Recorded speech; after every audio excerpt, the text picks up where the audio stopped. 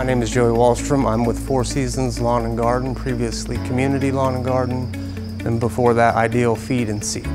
I just want to send out a special thank you to all our loyal customers out there, new and old. We thank you for all your business over the years and getting to know you as a customer has been a, a true joy for me personally. Four Seasons is a unique store. We have all kinds of products from clothing to Husqvarna equipment.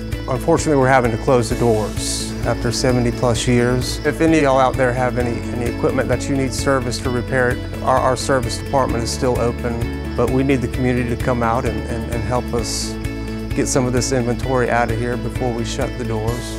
We have handheld tools, mechanics tools, we have deer plot mixes, we have ground cover, crop, we have loose and bulk seed, we have fertilizers, herbicides, pesticides, we have hardware, nuts and bolts as well. We have animal care products, poultry products, we have wood heaters, we have gun safes. I could go on and on. There's something for everybody here.